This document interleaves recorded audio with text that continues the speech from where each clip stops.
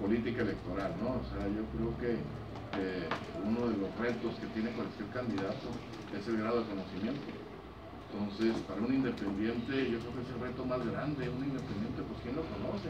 Necesita darse a conocer en un lapso de tiempo muy corto, ¿verdad? Entonces, pues yo creo que utilizan todo tipo de estrategias para levantar su nivel de conocimiento.